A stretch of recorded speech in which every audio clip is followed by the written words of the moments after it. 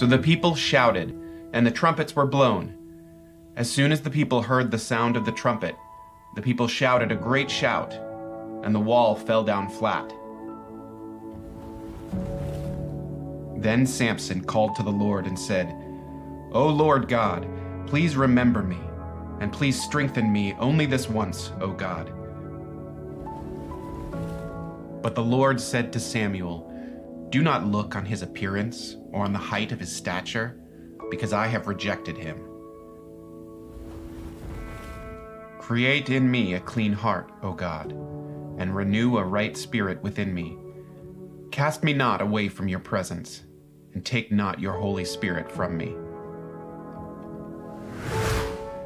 This is the narrative. So you remember as a kid when you would play Follow the Leader. And it was always fun to be the leader, right? People had to do whatever you did, if it was jump or skip or roll or whatever it was. And I remember in preschool, maybe even you were so excited if you ever got to be the line leader right? You just, people following you, there's something about it. When we talk about leaders, we're going to do that today in 1 Samuel. We're going to be in all over in 1 Samuel, but especially chapters 15 and 16. When we talk about leaders, we're going to look at two of Israel's uh, beginning leaders. We're going to look at uh, David and Saul. And, and, as we, we think about them, I, I want to ask you this what, what do you want in your leaders? Uh, what do you look for in leaders to follow? What kind of character do you want of those in charge of you? And so today we're going to look at two different leaders and compare them to the best leader ever, which is Jesus in the heart of kings today. Uh, last week we talked about Samson, and there was a time in Israel where they were going through judges. And if you're in our Bible reading plan this week, we, we rolled into the kingdom of Israel. And we saw the first king anointed, that was Saul. And then we saw the story of this other guy named David, who's going to be the second king. So as we walk through this, uh, we're going to find out why the Israelites wanted a king. So in 1 Samuel 8, they tell, uh, they tell Samuel, who's this prophet, the man of God, they say, We want a king. We want a king like all the other nations. And Samuel talks to God about it, and God's like, Man, they really don't want a king. It's not going to go real well for them if they get a king. Uh, and Samuel tells them that, and they're like, No, we want a king. Samuel says, Okay, well, he's going to take your sons and put them in the military. They're going to have to uh, drive his chariots and go and, and defend and all this. Your daughters are going to be in the palaces. They're going to be working. They're going to be, he's going to be taking 20% of your crops and your money are you sure you want the king? And they're like, Yes, we want the king. Why do they want the king? Because they want to be like the nations around them, they want to be like everybody else. I mean, God has already said they're special to Him, but they want to be like everybody else, and, and they call for a king. And so uh, God tells Samuel, hey, they haven't rejected you, they've rejected me. So we'll give them a king, even though that's not the best thing for them at this time. Uh, God gives them over to the desires of their heart. Uh, we see that in the New Testament. If we fast forward to Romans chapter 1, where God does that when, when man goes after things that are unnatural and totally not godly, he turns them over to the lusts of their heart. And so he gives this to the Israelites. Now, when we talk about these two kings today, uh, Saul, the first one, and David, the second one, I want you to understand something. Uh, we're going to see Saul in a negative light. Okay, he's, he's, I just want to be, be fair and, and, and full disclosure here. There's some good things that Saul did for God, more in the beginning of his kingship. So, so he does mostly bad and a little good. Now, David, on the other hand, does mostly good, but there's some doozies of bad that he does. We're going to talk about that for a little bit too. And so we're going to see the difference between the two. So let's jump into that and look at these two Saul and David. Saul was picked for his appearance, and David was picked for his heart. David was picked for his heart. So, uh, so as we think about this, Saul was picked for his appearance, David was picked for his heart. We, we look all the way into uh, 1 Samuel chapter 9, verse 2. And, and, before we get there, let me ask you this Would you rather have a, a, a leader that looks good or is good? Uh, be good or look good? You're like, man, if you can get both of those, that'd be good. But, uh, you know, we're going to say be good. So as we look at these two today, the first fill in the blank is uh, picked for appearance or picked for heart. Right? And, and so in 1 Samuel 9 2, it says this Kish had a son named Saul, as handsome a young man as could be found anywhere in Israel, and he was a head taller than anyone else. Uh, so as we look at him being a head taller than anyone else, he's, uh, he's, he's chosen for his appearance. And you say, well, Jeff, you're, you're kind of, uh, you're, you're, reaching there because that's not really what is said. But we're going to see here in just a, a couple more verses that uh, that is what's being said. I, I, think you have the wrong message up there. It should be this week's. So, uh, so just so we have notes and the scripture up on the screen. Uh, God wanted to give the Israelites someone who, who went after him. But instead, they're, picking someone that looked the part, that was a head above everybody else. And this guy, uh, we see what God says in 1 Samuel 13 14. Uh, he says this to the one that was chosen that way. He says, But now your kingdom will not endure. The Lord has sought out a man after his own heart and appointed him ruler of his people because you have not kept the Lord's commands. So, so God is seeking out someone after his own heart because Saul, his heart wasn't the Lord's. And so when we look at this passage, we see that uh, Saul was picked for something else. As a matter of fact, if we go into 1 Samuel 16 7, great verse to memorize, uh, where the Lord said to Samuel, Do not consider his appearance or his height, for I have rejected him. Ultimately, he's not real tall, and he's not going to get the best looking in Israel if there was a contest. I've rejected him. The Lord does not look at things people look at, right? People look at the outward appearance, but the Lord looks at the heart. So that's the difference between Saul and David. Everybody looked at Saul and said, "Oh man, he's he, he's tall, he's good looking. Reminds me of the pastor at Riverlawn." And I, you know, it's one of those things. I don't I don't think that's actually in there, but uh, uh, you know, let's go for him. And God says, "No way. You want someone with a heart that is after me." Another thing we see in the two comparisons here is, is Saul was in self-centered cowardice, whereas David was in God-centered bravery. Right? Uh, when Samuel told Saul he was going to be king, here's what Saul does. He answers, But am I not a Benjamite from the smallest tribe of Israel? And it's not my clan, the least of all the clans of the tribe of Benjamin? Why do you say such a thing to me? I don't want this. Why? I mean, I come from a small clan. Don't, don't pick me. And then we fast forward to where everyone gets together to um, say that Saul is king and they're looking for him. I mean, it's not hard. You can pick him out in a crowd, right? He's a head above everybody else. But they can't find him. They're like, where's this dude at? And in 22, I can just see God rolling his eyes here. If God ever rolled his eyes, here's where he's rolling his eyes. In verse 22, so they inquired further of the Lord, Has the man come here yet? Where's our king? And the Lord said, Yep, he's over there hiding himself among the supplies. Go check where your Samsonites are and your American Tourister uh, luggage. That's where you're going to find your king. He's hiding in the luggage. I mean, he, he reminds me, he, he, really reminds me of a character. See if you guys can get this. oh, I don't want to. I'm just scared. I need some courage. You know, I mean, type of thing, right? It reminds me of the cowardly lion in The Wizard of Oz. And he's sitting there, and even though he just looks good and, and stands tall, he's hiding. He doesn't want to take leadership. Self centered cowardice is what we see with him. Then we go a little farther down the road and, and we see David and we see his heart and his bravery, and they were centered on the Lord. Right? Uh, he, they were centered on the Lord. And, and there's a picture uh, a little bit later on where, where we see a nine foot giant come out. He's from Philistine, and you might know his name. You guys know his name? Goliath, right? So this nine foot giant comes out and he's challenging the Israelite army. So the Philistines are coming, they say, hey, this is how we're going to fight this battle. We're going to send out our best guy, you send out your best guy, let's let them fight, and whoever wins that one fight gets to control. And all the Israelites were shaking in their boots. I mean, he's nine feet tall, right? I mean, this dude is massive. And they come out and they're like, oh. Now remember, David, remember, David's small. He says, I, have rejected his height. I mean, don't, don't, uh, he's not going to be tall like Saul. And so David is a young man at this time, a, a very young man, and he comes to visit his brothers who are in the army because he's too young to be in the army. He's at home watching the sheep. He comes to check on him. Dad sends him, and he comes, he says, uh, he sees Goliath challenge everybody, and everybody kind of shaking their boots and hide. David's like, hey, what's going on here? What's up with that? This guy's, this guy's talking bad about our God. He goes in, he can't put on uh, the armor, and everybody's like, well, nobody's challenged him. David's like, I'll go against him. Bring it. You know, it's not the size of the dog, it's the size of the fight in the dog, right? And so David's like, I'll, do it. And so we see this in, in 1 Samuel 17, where, where verses 37 and 45, uh, he talks about this. The Lord who rescued me from the paw of the lion and the paw of the bear. Let me take you back to next week. Remember when Samson We talked about him destroying a lion with his bare hands. It was all about him and him getting the glory. But here, David says, Hey, God rescued me from the lion and the bear. He'll rescue me from the hand of the Philistine. And Saul said to David, So Saul's the king. This little young man comes in, can't even wear the armor. He's like, All right, go, and may the Lord be with you. A few verses later, David goes out to the nine foot giant and he says to the Philistine, You come against me with sword and spear and javelin but I come against you in the name of the Lord Almighty, the God of the armies of Israel, whom you have defied. Watch out, buddy. I mean, David, David comes out and he says, I don't care what you're coming. You can come at me with, uh, with, uh, with, a bazooka. You can come at me with a Sherman tank. You can come at me with whatever you want, but I'm coming at you with the God of the angel armies. Who wins this battle?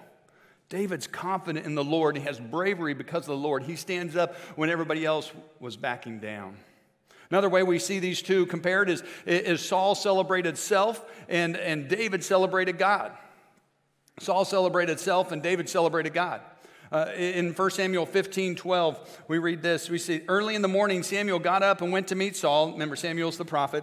But he was told, Saul has gone to Carmel. There he has set up a monument in his own honor and has turned and gone on down to Gilgal.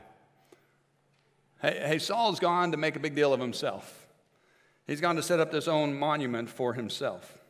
And we look at Saul throughout his kingship, and he was jealous and angry. And if anybody, anybody said anything different than him or he, or he got scared of somebody, he would try to kill him. He even killed, one time, he killed 85 priests and their families. Priests of God, not some other God, priests of God. He killed them and their families because they had given bread to David. I mean, Saul was messed up because he was all about himself. Fast forward to David as king and how he celebrates God. And uh, let me tell you the story setting this up. So, uh, David's king, this year's down the, the way, and, and the ark of God is not there with him. And so they're bringing the ark of God. Remember the presence of God through the, the tabernacle, and, and it's going to be in the temple uh, here in a little bit. And, and they're bringing the ark of the God, and David is just celebrating. Matter of fact, he's in his pajamas. He's in his pajamas, he's in, he's in undergarments. I mean, if you guys all wore footy, footy pajamas here, everybody would say, man, that's a little weird, you know? They're getting their praise on, wearing their pink bunny ear Christmas story jammies. We think it was a little weird. Or if you showed up in a, in a little undershirt and uh, maybe some long johns, everybody say, ah, that's a little weird. David didn't care because he's celebrating God. Matter of fact, we're going to see one of his wives, Michal, uh, she gets a little upset that he's doing that, thinks he's making a spectacle of himself. Michal was actually a daughter of Saul. There's all this stuff going on. It's a soap opera in the Bible a lot of times. But we're going to see him reply to her in his response here. 2 Samuel chapter 6, verses 14 and 15, and then 21 to 22. Wearing a linen ephod, David was dancing before the Lord with all his might while he and all Israel were bringing up the ark of the Lord with shouts and the sound of trumpets. I mean, they were just, they were getting their, their praise on. They were just loving that the ark was coming. And then David said to Michal, It was before the Lord who chose me rather than your father or anyone from his house when he appointed me ruler over the Lord's people Israel. I will celebrate before the Lord. And this, this is great. I will become even more undignified than this, and I will be humiliated in my own eyes. But by these slave girls you spoke of, I'll be held in honor. What a mentality. Hey, I'll become even more undignified than this. I'll be humiliated in my own eyes. You know what keeps so many of us from being who God wants us to be? We're not willing to die to ourselves. We're not willing to say, I'll be humiliated for myself if it gives God glory. We want to, we want to preserve self. We don't want to look weak. But David celebrated God. I mean, he had this mic drop moment with his wife. He's like, Woman, please, I will just become more undignified than this. It's about God. I love what he wrote in Psalm 119, 10, 11. I seek you with all my heart. Do not let me stray from your commands. I have hidden your word in my heart that I might not sin against you. I mean, I, am all about you. You are my everything. You are the center of my universe. And, and everything I do, I, I want to put your word in my heart that I might not do anything against you because you matter so much to me. I want to celebrate you. Saul, he continually made excuses for his mistakes, whereas David brought about repentance in his life for his mistakes. God had told Saul to go and destroy all the Amalekites. and everything in their camp their animals, their people, everything. And, and Saul goes, and we're going to read a little bit more about this here in just a second, but we're just going to read one verse on this now. In, in verse 15, he didn't destroy him, and, and Samuel says, Hey, wait, I hear sheep. Uh, uh, where, where are those coming from? And Saul answered, Oh, hey, that was the soldiers' fault. They brought them from the Amalekites. They spared the best of the sheep and cattle to sacrifice to the Lord your God. But we totally destroyed the rest. So, so here Saul is that he is making excuses, blaming it on others who only did what he told them to do, and said, Hey, but we, we, got, we got the good stuff for God. He made excuses for what he did. David, now, I mentioned this, far from perfect, right? We look at David. If you know the story of David, uh, there was this part in his life where he was just, man, he, he made some terrible decisions where they're just compounded, right? Have you ever made that one bad decision and then you're like, oh, I made that, so I, in order to keep that one going, I got to do this one. Oh, in order to do that, I got to do this. And, and before you know it, it's out of control and you've spun a web of lies and deceit that you're just like, how did I get here? That's what happens with David when he sees a woman from his rooftop and decides to take her, even though she's married, gets her pregnant, and then sends for her husband, who is out fighting in the name of David to honor David's kingdom of Israel. Brings him home. Hopefully, he'll sleep with her and get her pregnant, but that doesn't happen because he's, he's committed to the cause and says, I can't enjoy that while all my brothers are out battling. So then David's like, Man, what am I going to do? Oh, I know what I'll do. I'll kill him. So he sends orders with him to go out to back to the army and, and he's told to be put at the front of the line and then draw back. So murder, lust, adultery, and some of us we say, mm, David. And yet Jesus says if we've hated anyone in our heart, we've committed murder. If we've looked at anyone or anything lustfully, we've committed adultery. But what I love about David in the midst of this, because he, he was far from perfect, but what he did do was repent. And repent is when we, we change our hearts, we change our minds, and we say, uh, God, I, am sorry, and I want to be about you and not me. One of the best Psalms ever written was Psalm 51. And he starts that by saying, Have mercy on me, O God, according to your unfailing love. This was after he was confronted for what he did and all those things. Nathan the prophet had confronted him, and he, he, he, writes this to God Have mercy on me, O God, according to your unfailing love, according to your great compassion, blot out my transgressions, wash away all my iniquity, and cleanse me from my sin. Man, God does not expect us to be perfect. There's only one who is perfect, and that's Jesus Christ. He does want us to admit when we mess up, He wants us to repent when we make mistakes. And I know, now don't take this personal, but I know that every one of us in here, everyone watching online, has made a mistake in your relationship with God this week. I know it. Probably more than one. And God knows we're going to do that. He just wants us to be like David and have a heart that says, Man, I'm so sorry, God.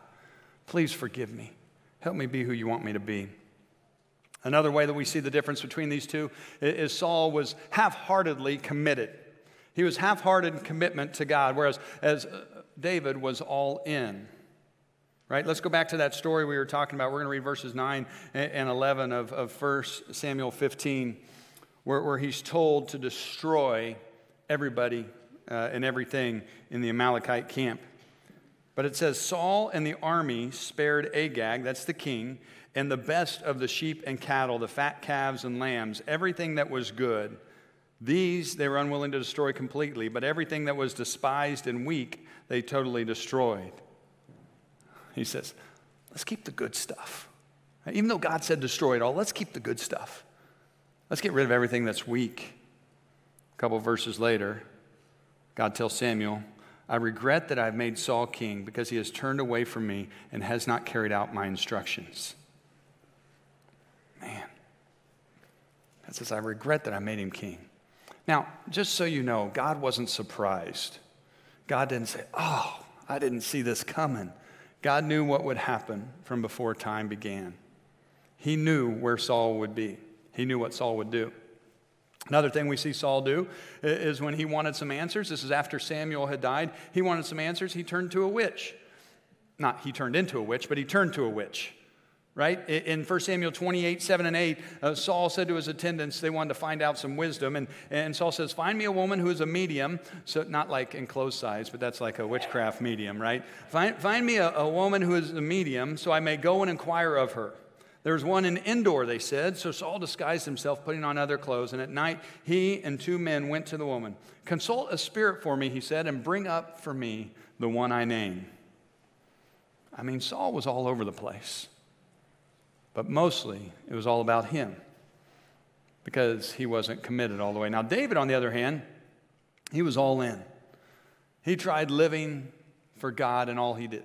Now, he messed up. We've already covered that.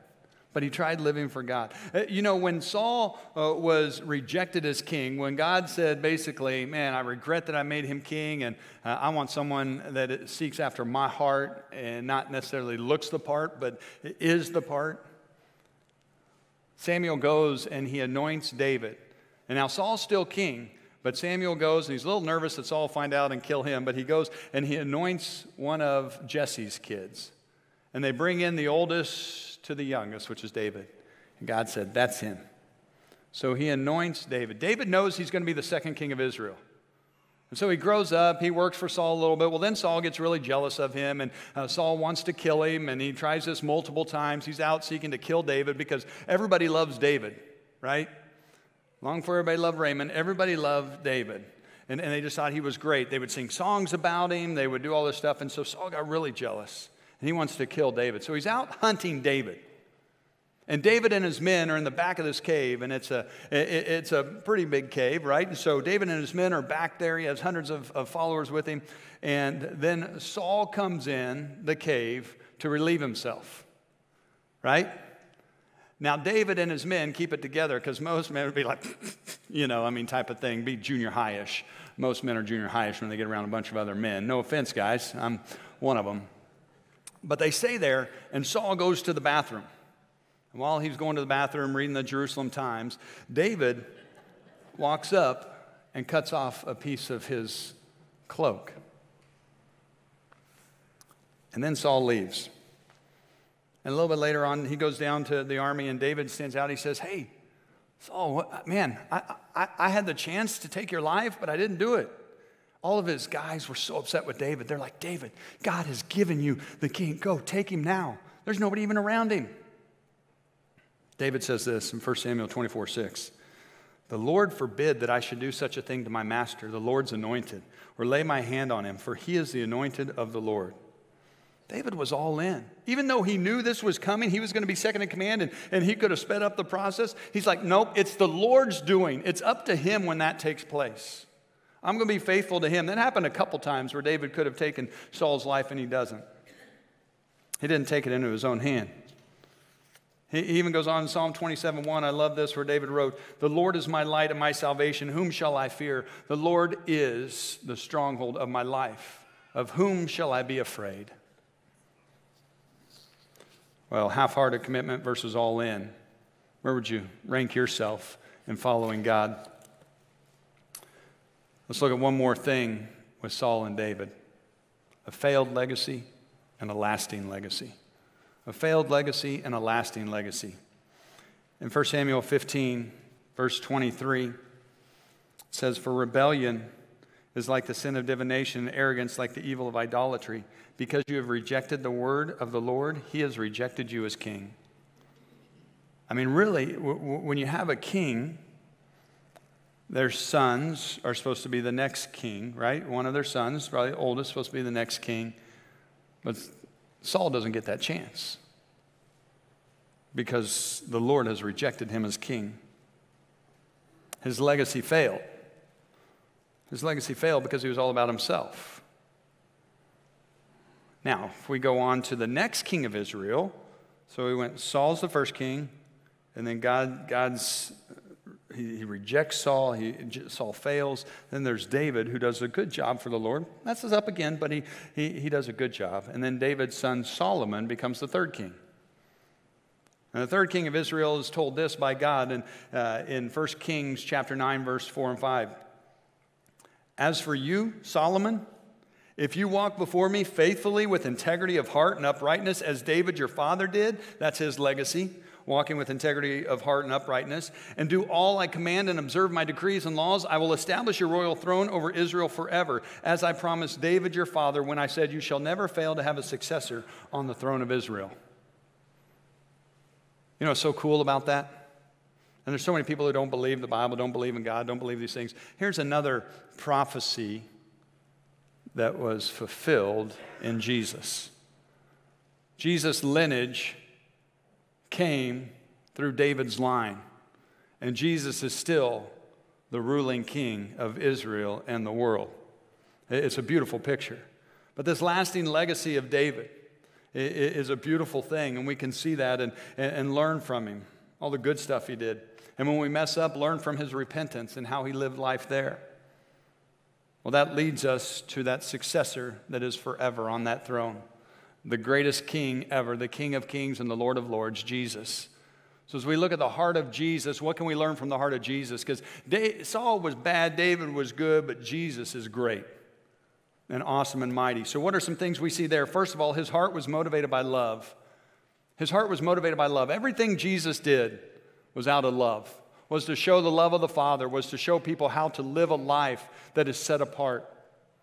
He loved greatly. Matter of fact, John 15, 13, greater love has no one than this, Jesus said, to lay down one's life for one's friends.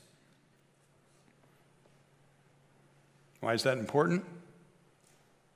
Because you and I needed someone to lay down their life for us. Why? because we've sinned against God and we broke our relationship with God when we went our own way. We, we became a lot like Saul when we've done our own thing. And, God says there's nothing I can do or you can do uh, that's enough to pay for the sin that we've committed in this world against Him and His people. And the ultimate punishment for that sin is a very real place called hell. And that's where we are to go. And a lot of people, I got an email this week, uh, someone that was saying, Man, I don't believe in hell. How could you do that? And this big long email about, you know what, I just know I'm going to die and that's going to be it. I'm like, what miserable hope is there in that? And yet I know there's a hell because God has said it and over and over he has proven himself. And if you don't even believe uh, the word of God, you've got to believe the prophecies that have come true. But there's a real hell that we deserve to go to. But God didn't want us to go there. And so he sent his son, Jesus Christ, because God loved us. Jesus came and gave himself, laid down his life for all those who would take him as Lord and Savior, repent of their sins, say they're sorry, and ask for the blood of Jesus to cover over their sins, will be forgiven. If you've never done that, we encourage you to text the word follow to the number on the screen. Uh, we'd love to talk to you about that. Because once Jesus takes away our sins, then the payment has been made through his sacrifice, and we get to be back in relationship with God and get to be with him forever. It's a beautiful thing. But everything he did uh, was motivated by love. His healings were motivated by love, his teachings motivated by love. Uh, when he rebuked the religious leaders, motivated by love. Everything he did was motivated by love. He was the epitome of love. And his heart was demonstrated by sacrifice. His heart was demonstrated by sacrifice. Mark 10:45 says, "For even the Son of Man did not come to be served, but or he came as a ransom, and he did not come to be served, but to serve." Right? And to give his life as a ransom for many. That's why Jesus came. He said, I didn't come to be served, I came to serve. Motivated by love, demonstrated by sacrifice. He sacrificed so much to bring us back to God. He went through so much physically. He humbled himself and became obedient to death, even death on a cross, for your sins, my sins, the sins of the world. What a wonderful king. So, what about our hearts? What's the condition of our hearts? Where, where, are you at? Do you have more of a David heart or a Saul heart? Because a Saul heart is really what the world teaches us to have. A Saul heart is it's all about me. I want mine. Give me mine. I'll step on whoever I need to to get there. As long as it feels good, I'll do it. And a David heart is, man, God, I, I'm, I'm going to dance in my undergarments for you. I'll become more undignified than this to tell others about you. When we become Christ followers, we're told that we're anointed by God and we're given the gift of the Holy Spirit. And I wonder this is something just for us to ponder. God said, I regret making Saul king. Does he regret giving us salvation in the Holy Spirit because we make it all about us and we don't live for him? Or does he delight in us even when we mess up, as he did David? Well, how do we have a heart like David and not like Saul? How do we say, okay, I'm going to be like God's guy or God's gal and not for myself? First of all, we must desire him. We must desire him. Uh, we must long to be with him, long to be near him, long to spend time with him. I, I love the psalmist in Psalm 42 says, As the deer pants for streams of water, so my soul pants for you, my God. My soul thirsts for God, the living God. Where can I go and meet with God? I mean, it's just like we, we can see that a, a, a thirsty deer that just wants to get to that water. How many of us desire God like that? Too often, our desire for God is quieted by the distractions in our lives. Too often, the, the, the, quest to be near God, the desire to be with Him, it's quieted by doing the same sinful pattern over and over and over again.